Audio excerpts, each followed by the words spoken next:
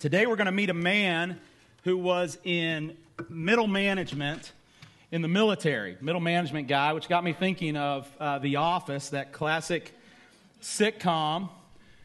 There was middle management there. Of course, Michael Scott was middle management, right? He had people above him who he reported to, but he also was over the office. But the funnier part is Dwight Schrute wanted to be middle management. So if you remember, he would refer to himself as the assistant regional manager, and then Michael Scott would always correct him. It's assistant to the regional manager. Big difference. We have the word to in there. You're not the assistant regional manager. You're the manager. You're the assistant to the regional manager. Anyway, if that show is not funny to you, then I'm sorry. I'll pray for you. But that's no. I'm just just kidding. But I got to thinking about that because this man who takes up the bulk of the scripture that we'll see today in verses 5 through 17 of Matthew chapter 8 was in fact a centurion. He was a military guy, and he both had people in authority over him, but he wasn't a scrub. He also had a leadership position of his own, um, and we will meet him today and see what Jesus does in his life. But he's not the only one in this passage whose life is impacted by Jesus. There are other lives that will, will meet uh, more people. We just read about some of them. There's actually this blanket statement at the end of the passage that there are many who were transformed by Jesus. And what we'll see through all of these encounters today is this those transformed by Jesus sometimes, sometimes display commendable faith. The faith of the centurion today we'll see is commended. But all the more important than the levels of their faith is the object of their faith. Get that today. That's the main point. More important than the level of your faith, the intensity of your faith, the magnitude of your faith is the object of your faith. All sorts of people are changed in the gospel, but the change agent never changes. It's always, always Jesus. Father, today what we know not, please teach us. What we are not, please make us. And what we have not, please give us. It's in the name of Jesus we pray. Amen. Matthew chapter 8, verse 5, we meet the centurion first. He takes up the bulk of the verses today, or this encounter that Jesus has with him takes up the bulk. When he, Jesus, had entered Capernaum, he's come down off the mountain from the Sermon on the Mount, and he's re entering into Capernaum. Last week we learned about a, a meeting he had with a leper uh, who he healed, came to him, and, and Jesus healed him. Now we read of an encounter with a centurion. He came and he had entered, uh, when he had entered Capernaum, a centurion came forward to him, appealing to him. Now, real quick, just to reset us in geography, because I think it's so important that we remember these are real stories about real people in real places. This isn't some fanciful Sunday school lesson. These are real accounts. And we talked a little bit last week about how every part of Scripture, some of it's poetry, um, some of it's metaphor. We have to respect the genre. So not every bit of it is like the way we perceive a history book today, that it's just dates and exact details. But the events described in Scripture are historical events. They truly happened in real life. And so that's a map of uh, the nation of Israel in the days of, of Jesus. And if you zoom in, you'll go up to the north where, where Galilee is. That little purple uh, circle there was a region, right? So you have the nation of Israel, then you have a region in the north called Galilee, and that little body of water in the center there is the Sea of Galilee, and at the very top of it was a small town called Capernaum. A lot of what happens early in Matthew happens in that region and specifically in Capernaum. So geographically, that's, that's where we are. So he comes into Capernaum and there he meets a centurion. Now that word should sound familiar if you think of the word century, a hundred years, gives you a clue to what his title originally meant. His title originally meant a leader of 100 men. Now, likely by this time, the Roman government had not been that exact with it anymore, but he was, in fact, over a group of soldiers. Probably in that range of 100 men, but maybe not exactly 100 men. This is who he is. He's literally middle management in the, in the military. He reports to some people, and some people report to him.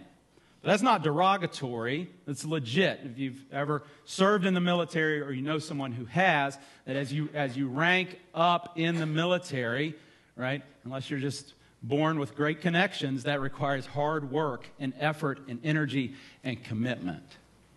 So, this is who this man is. Another thing to notice, real quick, and I just want to spend time here for the sake of uh, honoring the integrity of Scripture. Matthew writes differently than the other authors in the Gospels. And if you're a careful reader of the Gospels, then when you read Matthew's account of this story and then read Luke's account of this story, there might be some things that make you think, well, uh, what? Why why does Luke tell it differently than, than Matthew? Specifically, this. Today, we will, Matthew writes that the centurion brings this message to Jesus, but in Luke, there's religious leaders who come on behalf of the centurion. And then later, there's friends of the centurion who come on his behalf. In Luke, there's no mention of the centurion actually coming and, and speaking directly to Jesus. So, what gives? That's a fair question. And, and, and the Bible is strong enough to handle your questions. And, and, and again, the more carefully you read the scriptures, the more questions you'll sometimes have like that. I just want to remind us of a few things about Matthew. Matthew is condensing most of his narratives down to the, to the brass tacks. Like that's kind of his MO as you read through. There's not a whole lot of details. He just kind of puts it down. He gives a lot of his time to the teachings of Jesus. And he takes these narratives and kind of condenses them down. That's a, that's a um, literature, an, off, an authorial choice. He's the author. He's writing this out. He's divinely inspired. But if you, if you read the Word of God, you'll see that the way God divinely inspired these authors was to write through their own hand. That's why the styles of these books are different. And that's what makes Scripture so enjoyable and, and wonderful is all the different genres and all the different styles and all the different authors. Completely 100% inspired by God, but inspired in such a way that it comes out in their unique personality, their unique way of writing, their unique experiences. Just like us in the church, we all serve the Lord, but uniquely with our giftings and our talents and the things that we're called to. The scriptures are the same. Matthew's also not concerned about exact chronological order. The events in Matthew are, are more topically arranged instead of chronologically arranged. We get uncomfortable with that because, again, it's America. We just, we have our calendars are to the hour, right? Like, you know, day one, this, this, Monday, Tuesday, we've got it all planned out. And, and so that makes us uncomfortable sometimes, but that's how he writes. He lumps them together more topically, and then uh, he's not always concerned with all the specific little details of every story. Again, I say that to comfort us, right, and answer big questions that we might have when we come to reading the Gospels. And we should have these questions, but there's good answers to them. So Luke tells us the religious leaders come on behalf, and then the friends come on behalf, but the centurion never does in Luke. And we're obsessed with these precise details oftentimes. But in this example, we have to understand culturally, and it's true, we would understand this with an ambassador from our country. They go to another country and they speak on behalf of the president, they speak on behalf of the United States, and you would hear what they would say, and you would say, That's you would never say, that's Ambassador John Smith's policy. You would say, that's America's policy. These are the policies of the President of the United States, even though he didn't speak them. Right? Like he, the ambassador spoke them, the ambassador presented them. So, what's probably happening with Matthew is Matthew is leaning hard into that reality within culture that since these people are the ones who came and spoke on behalf of the centurion, it's him that's speaking. He's speaking, because these are his words. Or perhaps the centurion shows up as the third party in the list of, of events. Could happen anyway. Just don't worry too much about it. The integrity of the scripture stands. The appeal of the centurion comes to Jesus, and that's the more important part. Here it is. He says, Lord, my servant is lying paralyzed at home, suffering terribly. And Jesus said to him, I will come and heal him. We spent some time on this last week. We're not going to hash it out as in depth this week, but notice again the approachability of Jesus and the willingness of Jesus. The centurion has strong faith. It'll be commended. He certainly does. He's courageous in the request that he makes. The leper last week was bold in his request as well. So certainly they had courage, certainly they had boldness. But there was something about Jesus, the way that he lived, the way that he acted, that made people feel that they could approach him, that they could come into his presence and receive his power. Sometimes you've met powerful people in your life, maybe that you don't feel like you can come into their presence. And maybe you've met people who you feel like you can come into their presence, but they don't have a whole lot of power. Jesus has all the power, and he invites us into his presence. Not only that, but he's willing. Last week he said, I will to the leper. Remember, I will be clean. Today he says, I will come and heal him.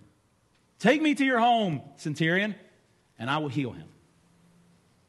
But here's where the narrative takes an unexpected turn. You expect the centurion to be like, okay, let's ride, let's do it, let's go.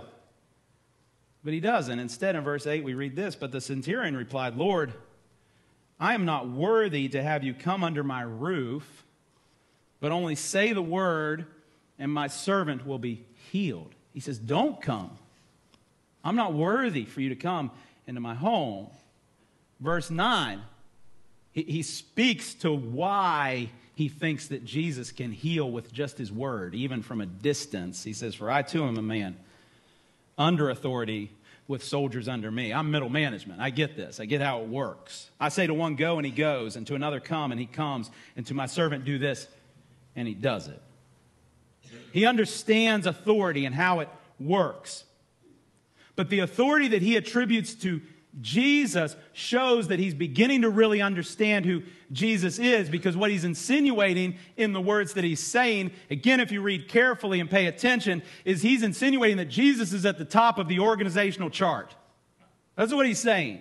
That he's at the very tip top of it. This man must have been convinced of this because, the, uh, because his illustration, which is plain and obvious, is preceded by a massive faith claim that Jesus can speak words and someone's body can be healed. That's massive, right? This flies in the face of the cultural beliefs of the day, by the way. We don't even believe in healing anymore, uh, but they did then, but they believed that healing had to be through the touch of the person who was doing the healing. That's what the whole culture would have believed. This centurion flies in the face of that. He says, You've got so much power, so much authority, you don't even have to touch him. You speak the words and it'll be done. But more important, the centurion is saying, I'm over some people and under some people, but Jesus, you're above all the people. And not just all the people, but you're above disease. You're above human bodies. You're above sickness. You're above paralysis. You're above even the cells of the human body. You're over it all. And when you speak, the people and things that you speak to have no choice but to obey. N.D. Wilson puts it like this I'm not a fan of every single thing that he's put out. I shouldn't have to say that, though. That should just be, we should understand that in this church. We're going to quote people in here. We don't agree with everything they say. But this was good when he said this in Notes from the Tilt-A-Whirl. He said, I look around the world and I ask myself, what is it made of? Here's his answer words. Magic words. This is fanciful. This is poetic. If you're not into the poetry, then sorry. The world is made of words, magic words spoken by the infinite, words so potent, spoken by one so potent that they have weight and mass and flavor. They are real. They have taken on flesh and dwelt among us. They are us. In the Christian story, the material world came into existence at the point of speech. And that speech was ex nihilo, meaning from nothing. God did not look around for some cosmic goo to sculpt or another God to dice and recycle. He sang a song, composed a poem. You yourself, he continues, are spoken. I am spoken. We stand on a spoken stage, the spinning kind, the round kind, the moist kind. Everyone's favorite word, moist. The kind of stage with beetles and laughter and babies and dirt and snow and fresh cut cedar. Then he goes even narrower. You are made of cells. I am made of cells. My cells are built on molecules. My molecules make use of atoms. My atoms are mostly space, but the bits that aren't are called quarks. Get this, my quarks, the tiniest discovered part of your human of your uh, biology is standing because they're obedient. Do you believe that today? That it is the Word of God that holds it together. They've been told by a voice they cannot disobey. He goes on, I'm real, I'm heavy, I'm matter. Cut me and I'll bleed, but I'm not made of anything.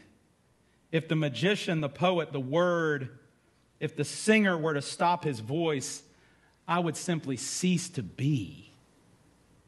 That's the power of the authority of Jesus.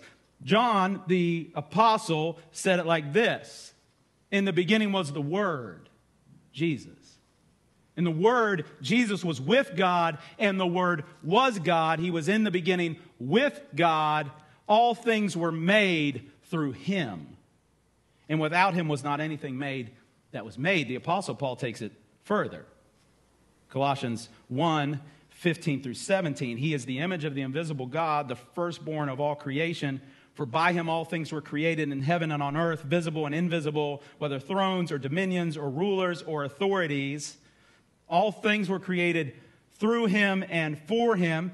And he is before all things. So far, we've, we've seen the same thing that John told us in his gospel, but then he adds this line, and in him all things hold together. Not only did his speech create everything, but it is his speaking that holds everything together. Here's the point if Jesus never speaks, nothing you see around you would have ever existed. that sounds like such a fairy tale, doesn't it? I mean, we can be honest, right? Like it kind of sounds like a fairy tale to us, but that's what the scriptures claim, and we're called to grow in our faith to believe that it is literally the voice of Jesus that brought all of this into being. And not only that, but if you ever stopped speaking, if you ever stopped sustaining, it would all cease to be. In a real sense, your heart is beating right now because the Savior sings, because he keeps speaking, he keeps sustaining. See, we, we walk in here, we're not that desperate for Jesus. I'm not. I'm, let's be real, right? Like, oh, you're holding my whole being together. like, it all just like, like the skin would, you know, like, what is it, the Avengers where he snaps and everybody turns, like that, that's kind of in my mind what I imagine, right? Like, if Jesus stops sustaining all of this, we just be gone. We must be desperate for him. So, this Gentile centurion who has no formal training in the things of God has faith to believe that Jesus can speak transformation into reality, and Jesus recognizes this. When Jesus heard this, he marveled and said to those who followed him, Truly I tell you, with no one in Israel have I found such faith. This man gets it. We don't know how deeply he gets it. We don't know how sound his theology or his doctrine was, but we see that he had faith that Jesus had the authority to speak transformation into existence. He believed that about him.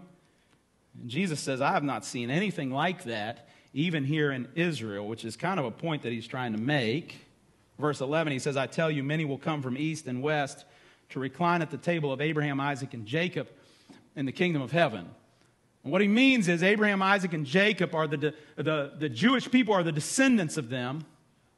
That's, that's where everyone, his primary audience there in his ministry, would have been Jewish people, the descendants of them. And he says it's not just going to be those ethnically from the line of Abraham, Isaac, and Jacob that sit at the table, there's going to be more from the east and the west. And the centurion testifies to that reality. He says, You see, that faith in him was not, get, was not like manifested out of his own self. That was placed into him by a God who has said from the beginning that his plan is global to save people from every tribe and tongue and nation. And it's a good thing it is, right? Because if it wasn't that way, there wouldn't be any of us Appalachian knuckleheads in the kingdom. But we are by God's grace. He's saying that this man is evidence of God's global plan. He goes on, though, with a heartbreaking counterpoint.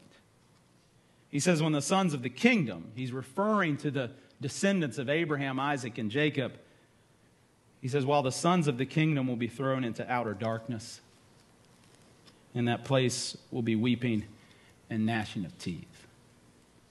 He's drawing attention to the reality that so many of the descendants of Abraham, Isaac, and Jacob will miss the Messiah right in front of them.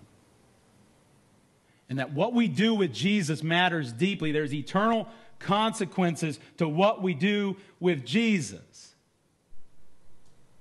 There's a real, literal, eternal punishment awaiting those who look at Jesus and say, No thanks, I'll do it my way. There are consequences to that, and they are eternal and they are devastating. Hell is the word used to describe that eternal separation from the presence of God, so intense that there will be weeping and gnashing of teeth, not just for a day, but forever. Heartbreaking reality. But in the midst of there is also that silver lining of joy that includes us, Gentiles being brought into the kingdom of God. Jesus then turns to the centurion and he says, Go. Let it be done as you have believed. And the servant was healed that very moment. Jesus just says, Let it be. And it is. That's his power. The physical properties of the centurion's servant are changed by the voice of Jesus. But watch what happens next. And I love that Matthew puts this story right up against the other one. Because there's just been this massive proclamation that now Gentiles are going to be welcomed into the kingdom, and many descendants of Abraham, Isaac, and Jacob are going to reject it. But almost as if to remind us, but not all of them will, he takes us to a Jewish home. Peter, his disciple, is married, and his wife's mother is very, very sick. That's where he goes next in verse 14. When Jesus entered Peter's house, the, the mother in law was very Appalachian. My mother in law lives at my home. I guess Peter was the same. His mother in law lived at his house, at least during this time of sickness. She was lying sick with a fever. He touched her hand, and the fever left her, and she rose and began to serve him. By the way, notice that she was certainly Jewish but not only that, she was on the fringes of the inner circle of, of, of Jesus' life. Jesus loved his disciples to the end, he proclaims in the book of John. He says, I love them to the end. And Peter was one of the closest to Jesus. There's no doubt this friendship love that he had for Peter extended to his family as well. And he tenderly touches his mother in law's hand, and she is healed.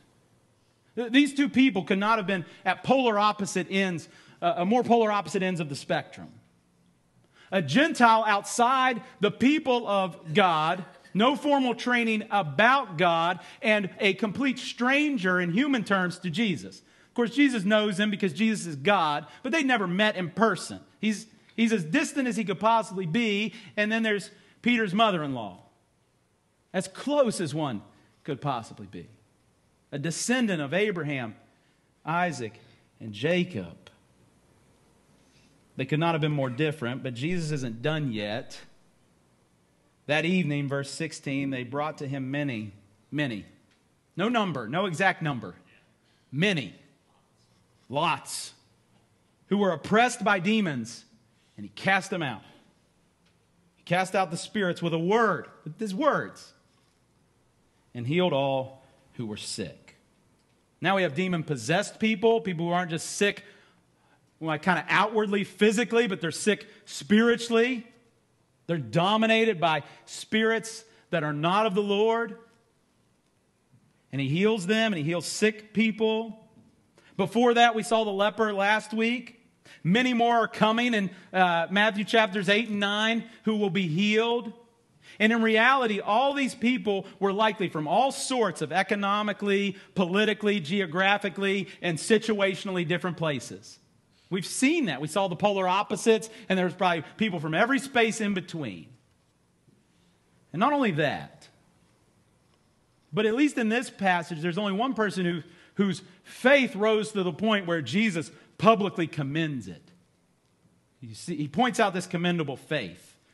But even in doing that, he's pointing to something greater. He's pointing to the plan of God. He's pointing to the work of God, the kingdom expansion of, of God. But only one's faith is commended. The reality is, they probably had all sorts of different levels of faith. They weren't all like faith heroes, some of them were like barely hanging on faith. Those transformed by Jesus sometimes display commendable faith.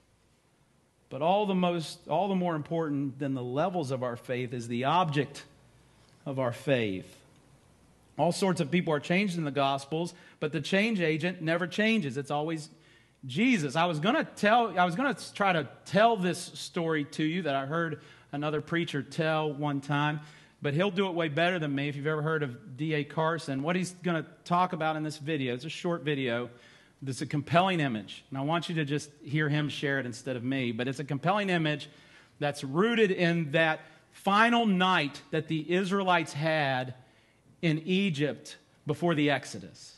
When that 10th plague comes and the firstborn son is to be slain, and God says to them, If you want your firstborn son to live, take the blood of a lamb and put it on the side doorpost and on the top of your door, and then the death angel, when he comes tonight, will pass over your home. Listen to D.A. Carson describe this. Picture two Jews by the name of Smith and Brown, remarkably Jewish names.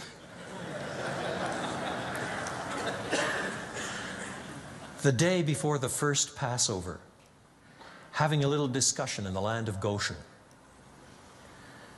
And Smith says to Brown, Boy, are you a little nervous about what's going to happen tonight? And Brown says, Well, God told us what to do through his servant Moses. You don't have to be nervous. Haven't you slaughtered the, the lamb and daub the two doorposts with blood, put blood on the lintel? Haven't you, you done that? You're all ready and packed to go? You're going to eat the, the whole Passover meal with your family? Of course I've done that. If I'm not stupid. but it's still pretty scary when you think of all the things that have happened around here recently, you know, flies and river turning to blood and it's pretty awful. And and and now there's a threat of the firstborn being killed, you know? It's all right for you. You got three sons. I've only got one. And I love my Charlie. And, and, and, and, and the angel of death is passing through tonight. You, you, you know, I, I know what, what God says. And I put the blood there, but, but it's pretty scary. I'll be glad when this night is over. And the other one responds, Bring it on. I trust the promises of God. That night, the angel of death swept through the land. Which one lost his son?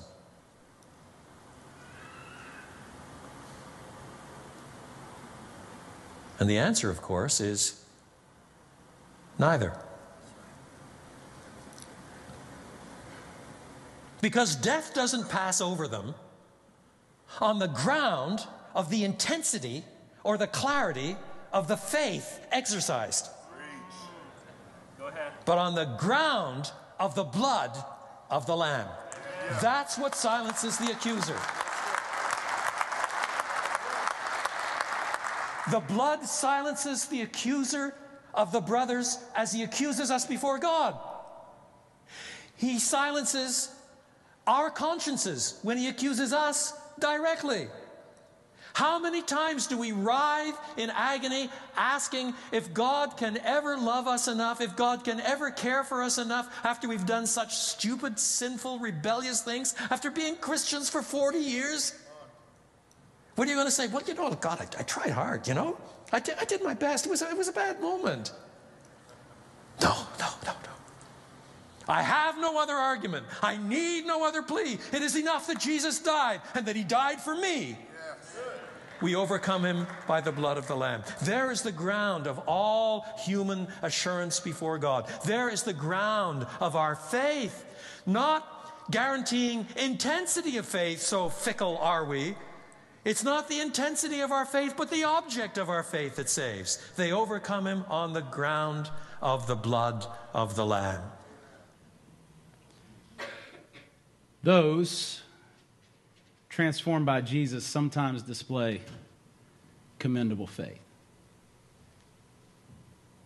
But all the more important than the levels of their faith is the object of their faith. All sorts of people are changed in the Gospels. We met some of them today. But the change agent never changes. The constant throughout Matthew, Mark, Luke, and John is Jesus. He's the one who does it. And that was always the plan, that final verse 17 of our passage today. This was to fulfill what was spoken by the prophet Isaiah. He took our illness and bore our disease. Matthew's quoting from Isaiah 53, verse 4 Surely he has borne our griefs, carried our sorrows, yet we esteemed him stricken, smitten by God, and afflicted. God told us that Jesus would do this through Isaiah 700 years before it ever happened. And now the, the day is here and being described in Matthew. In Matthew chapter 8, God has put on flesh and dwelt among us, come, fulfilling Isaiah 53 4 through the physical healing of people, and not only the physical healing of people, but more importantly, our eternal sickness as well. You see, that prophecy continues in Isaiah 53 5 through 6 says, He was pierced for our transgressions, He was crushed for our iniquities. Upon him was the chastisement that brought us peace, and with his wounds we are healed. All we like sheep have gone astray. We have turned every one to his own way, and the Lord has laid on him the iniquity of us all. Jesus came not only to bear the physical infirmities and the demonic possession of the people mentioned in this passage, but to bear our sin to the cross. Not just some of it, all of it. Every thought, every shameful thing that you've said behind someone's back, every good thing that you've done with, with selfish motives in your heart, every single thing, Jesus put it on his back.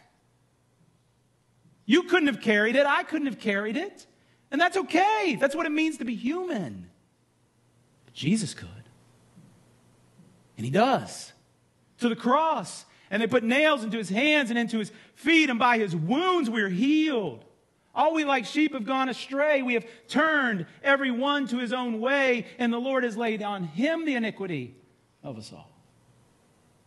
Jesus dies in your place. Jesus dies in my place, and blood spills out of his hands and his feet. And the, the Bible is simple in its explanation that the blood of Jesus Christ, God's Son, cleanses us from all our sin. Jesus doesn't stay dead, he's raised to life and power three days later. And he says, Now believe on the Lord Jesus Christ and you will be saved. Believe and be saved. If you're not a Christian, trust Jesus today and be saved. And Christians, where are you placing your faith? You might say, duh, Jesus, obviously. I'm a Christian. Well, true. You've placed your faith in Jesus for salvation. But what about today? What or who are you placing your faith in today? Now, no, I didn't ask how strong your faith is. I ask, what's the object of your faith? Is it your career? It's not mine, that's for sure. That's a joke about being a pastor, get it? Is it a relationship? Is it finally gaining control of something in your life that seems chaotic? Is, is that what you're putting your faith in?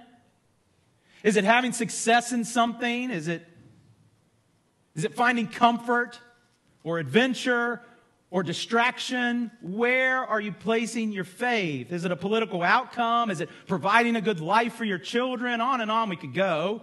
There's a thousand places we could begin to place our faith that isn't Jesus. And some of those things I just talked about are good things. If they find the right place. in the order of priority, where are you placing your faith? Is it Jesus? It's the reality that if you are in Him, He is with you. And if He is with you, who can be against you? And if He is with you, all the promises of God are yes and amen for you today. Is that the object of your faith? What or who is it that you're placing your faith in? Not how intense, but what is the object?